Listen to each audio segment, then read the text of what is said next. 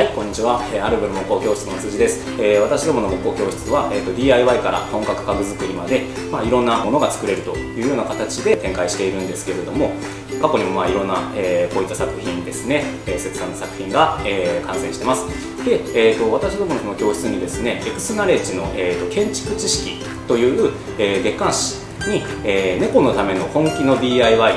とリフォームという形で、えー、企画協力ということでお話がありまして、まあ、その協力ということで、えー、その作り方の工程もしくはそのアイディアということで一応、まあ、ご協力させていただきました。で、えーまあ、紙面だけでなかなか伝わりづらいこともあると思うので、まあ、動画でその一例を、えー、紹介していこうかと思います。で、えー、今回、えー、紹介したいのがこの、えー、 cremation box ですね、えー、お仏壇です。亡くなった後も、えー、にゃんちゃんと一緒にいたいということで、えー、こういうもの、えーね、コンパクトなお仏壇というのも最近たくさん出てきてます。で、えーまあ、一般的に買うとなかなか高価なものが多いんですけれども、まあ、その大事な家族だからこそ、えー、何でしょう自分で作るというような形で、えー、今回企画提案させてもらいました。えーとですね、これがまあ一応、えー、なんとですね100均のセリアの、えー、材料で全て揃えてます。えー、このフォトフレームから、まあ、あとこのいろいろデコレーションですね。あとはこの木の板なども、えーと、セリアで、えーと、揃えてます。で、まあ、この LED ライト。これだけは、えーと、ちょっと Amazon で購入した形になるんですけれども。なので、え、比較的リーズナブルにできます。で、えー、その作り方っていうのを、えー、今回、えー、紹介させていただきます。はい。じゃあ実際早速、え、工程を見てみましょう。ではですね、えーと、これがセリアで買ってきた材料になります、えー、一応この効いた 45×15 センチっていうのがこれが一応8枚の計算になりますねであとはこの合板、えーと薄い板ですこれが 45×30 センチのものが2枚必要ということで一応検討してます。はい、またで、えーと、お使いのものとかその環境に合わせてサイズとかも変わると思うんですけれども、まあ、その図面みたいな書き方も、えー、別の動画でご紹介しようと思うのでまたそちらもご参考ください。え、まずですね、えーと、側板から切り出していこうと思います。でこれがまあ2つ、えー、左と右で同じサイズになるのでこういう場合はできたら、えーとですね、これ一個一個切るんではなくて合わせて切ってやった方がいいです。重ねて、えー、固定してで切っていきましょう。例えば切り口がこう斜めになった、え、としても下も上も基本同じ角度の斜めになります。なので一個一個切ってちぐはぐになるよりも、えー、2枚重ねて切った方が、えー、その誤差というのを、えー、吸収してくれるというような考え方になります。これがまあ一つの、え、自分で切る DIY などでのポイントですね。なので基準面を、え、書いておきます。こういう形ですね。そしたら斜めになっても例えばこうしてしまうと誤差が2倍になってしまうんですけれどもこういうふうに基準面が同じであれば基本一定の、え、形で切れるというような形で考えてください。はいそれではじゃあテープで巻いていきます、え、切り落とす側がこちらシール剥がす手間が省けるのでこっちを切り落としましょうか。端っこを合わせてテープにちゃんとしっかりテンションをかけてしっかりと止まるようにしてあげてください。で、えー、真ん中あたりにも1個巻いといてあげましょうか。切っていくうちに徐々にその切り落ちる側のテープが効かなくなってそのズレというのが生じます。ではこういう形で巻けました、えー、今回切りたいサイズが 255mm です。印をつけます。255mm ですね。差し金の使い方いろいろ、えー、あります、まあ、こういうふうにもちろん使うのが一番いいんですけれども、えー、その分こっちに飛び出る分の誤差をま拾ってやったりするというような形になるんですけれども初めのうちはやっぱりま計算間違いとかがよくあるのでもうピタッとこう初めに当てて端っこに当ててで印をつけてやるだけでいいと思います。はい、では今度はここから直角な線を引きます。こういう形でへりに当ててしっかり固定してあげてください。で鉛筆はできるだけ垂直に立ててですね。こうなるのとこうなるのでまた墨線の場所が変わってきます。垂直に立ててそのまま引っ張る。はい。こういう形で255の線が引けました。じゃあこれからノコギリのカットに入っていきます、えー、まず、まあ、これ有名なのが、えー、結構まあ DIY される方の中でも有名な総ガイドというものですね、えー、まあ、いろんな種類の総ガイドがあるんですけれども、まあ、よくこれ一番見る形のものを、えちょっと今回、え使います。でまあどういう形になっているかというとここですね。このへりの部分を材料に当てるとこことここが90度になっていますのでこれで,、えー、でここの隙間にですねノコギリの刃の厚み分の、え間が空いてます。そこにノコギリを入れると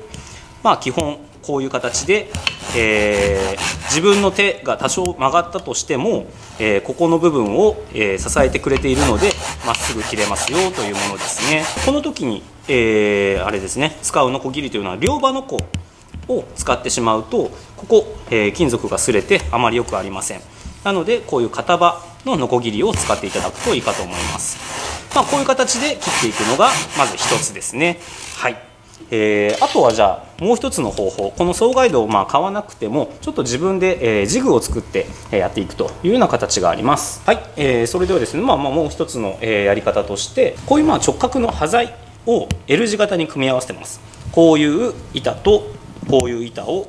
まあ、ピタッとできるだけ端っこがぴったり合うように、えー、この端この端が合うように合わせてでマグネットシートですね。この100均のえー、売られ100均でも売られています。マグネットシートを貼り付けると。はいちょっと動きますね。すいません。はい。こういう形でしっかり握って支えてでピタッとマグネットがこういう形で貼り付いてくれます。でこの時もあさりなしというノコギリを使ってもらうといいかと思います。できるだけ力を抜いてこういう形でまっすぐ切れますよと。いう形で、えー、使ってもらうと。いう形でこういうマグネットのシートがあると便利ですね。でノコギリっていうのは、まあ、こういう形で、えー、初めにですね筋道をまっすぐつけといてあげればここから徐々にこう縦にしていってもあまりずれることがありません。ノコギリっていうのはまあその傷口が好きなので、まあ、そっち側に切れ込んで入っていってくれます。こういう形である程度筋道をつけてから。あとはある程度ここまで、えしっかりつけましたらまっすぐいけばノコギリはが好きなのでそっちの方側に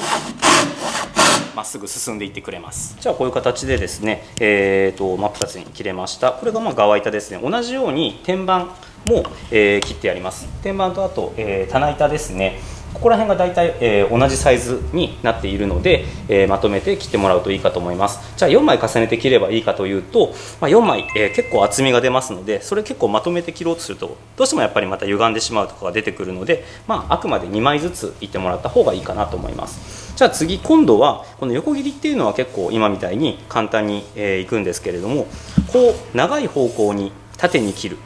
っていう作業も今回必要になります。でその時のコツをちょっとお伝えします。え今回 48mm ですので48墨付け、まあ、いろんな方法があると思うんですけれども、まあ、あのこれだと思う方法でやってもらえれば全然いいかと思います。引き出しの前板ですねを縦に切りたいという場合距離が長いです。結構なかなか大変ですね。これをまっすぐ切っていこうとしてもどうしてもまあちょっと歪んでしまいやすいというような形になります。でこういう時にまあどうすればいいかというとこういうふうにえー、初めにこんな風にちょっと材料に、えー、物を当ててカッターなどで切り込みを入れてやります。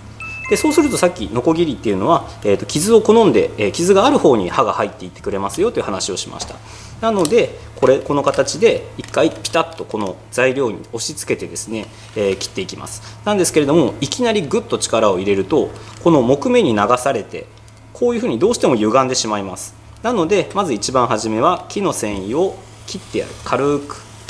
紙を2枚分ぐらい切るような感じですかね。こういう形で切っていってやってから徐々に力を入れてこういうふうにえ深く深くいってやります。手を切らないように注意してください。はい。そうするとですね、えー、と今ま鉛筆の線で分かりづらいんですけれども、まあ、今こう爪が食い込むぐらい傷がしっかりついてくれました。はい。でこうなったら、まあ、締めたもので、えー、ノコギリはそっちを好んで、えー、進んでいってくれます。さっきみたいに、えー、総ガイドを使ったり、まあ、このジグでやり始めるとなかなかその距離が大変です。ですのでちょっと面倒なんですけれどもこういう形でですね端材ですね端材といいつつさっきこれ、えー、切り落とした材料なんですけれどもこういった材料をちょっと準備してピタッとそのカッターの線の通りに貼り付けてやります。はい。本当はまあクランプが、えー、あればこれをちゃんとテーブルに固定してもらうのがいいかと思います。なんですけれども、まあ、一般的にクランプっていうのはなかなか、えーと、一般の家にはないものだと思うので、えー、ここにもまた今度切りたい材料の裏側にも両面テープを貼ってやりましょう。手で上から押さえておけばいいんですけれどもそうすると,、えーと、片手が塞がってしまう形になります。なので両手で、えー、加工したい精密な加工をしたいという場合には一番いいのはクランプを用意しておく。もしくは、こういうふうに両面テープで要は、え、人の手を借りるというようなイメージですね。はい。こういう形でしっかり固定してあげましょう。はい。これで、えー、基本的にテーブルにこの材料をまず押さえておきました。でそこにまっすぐ切るためにこういう形の、えー、ガイドですね。をつけましたと。そういう形のイメージになります。だから人の手を借りたいという時は基本は両面テープですねがあるといいですよということを覚えておいてください。じゃあさっきと同じ会話になるんですけれども、えー、ノコギリっていうのは傷を好んで、えー、言ってくれます。なのでまずここからよしまっすぐ切るぞという形で、えー、ザクザクいくんではなくてこの線にピタッとつけてこのままさっきのカッターの線をノコギリの線に変えてやります。この時にこういうふうに曲がったりしないようにだけ注意してください。どうしても人間こう押す時にグニッとなりやすいのでもし慣れないうちはこういう形で引くだけでも全然いいと思います。引く。ノコギリは引く時に切れます。はい。ノコギリの、えー、跡がついてきたらノコギリを今度は斜めにしてこのまままっすぐ切っていってやりますその時にも一応ここ押さえておくとずれづらいですね。この時にまあ自分の手を切らないように注意してください。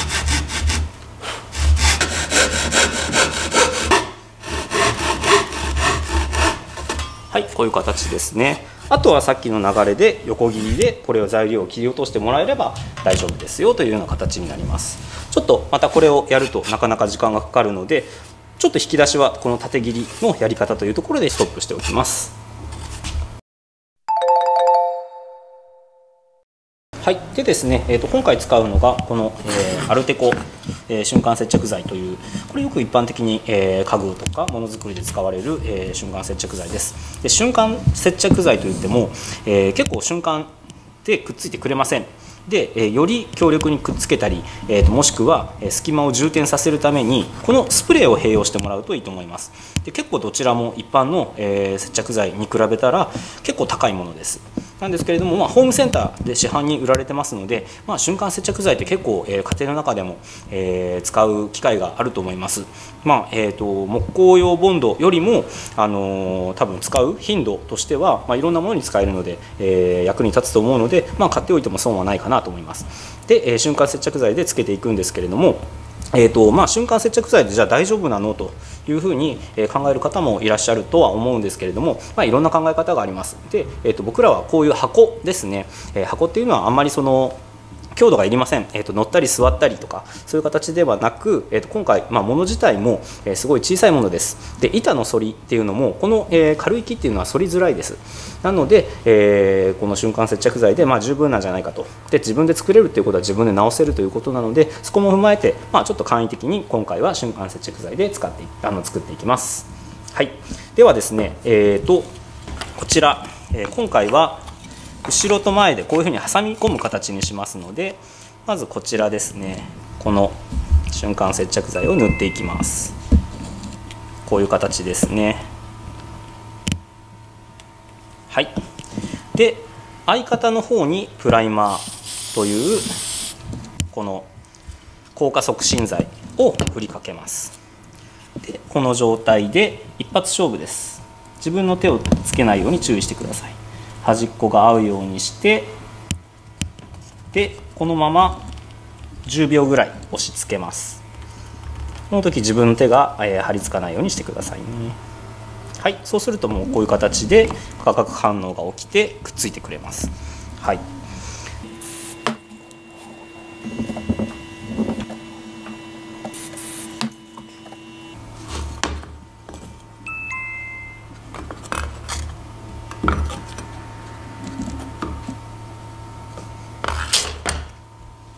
はい。OK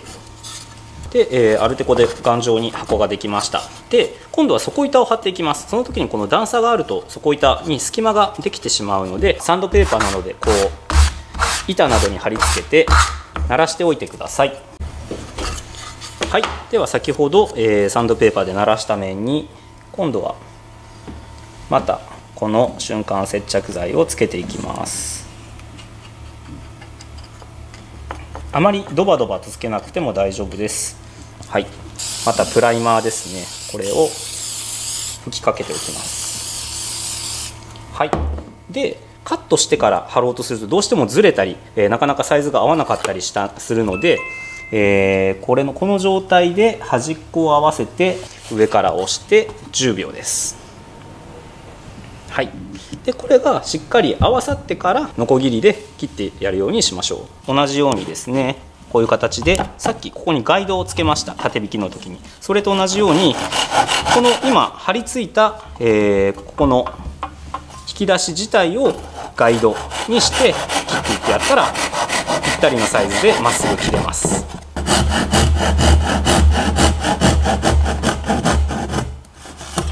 はい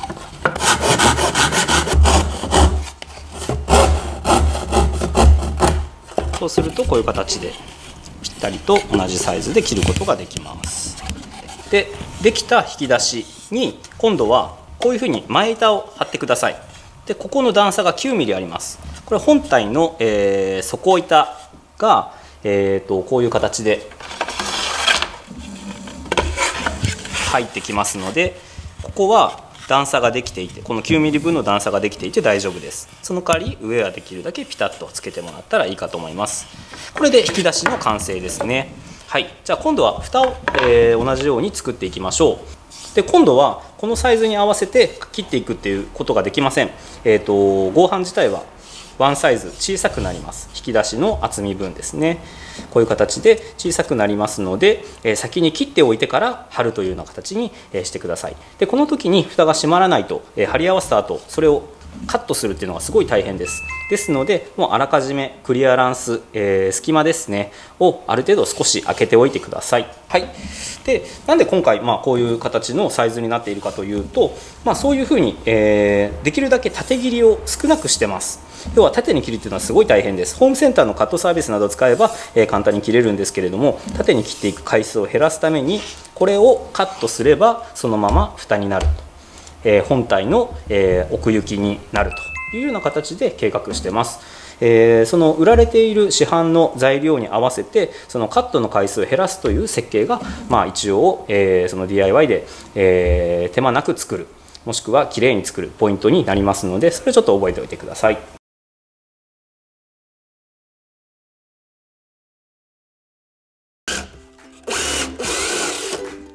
このですね、えー、2つのスイッチで切り替えられます。収納できるというような形で思い出の品を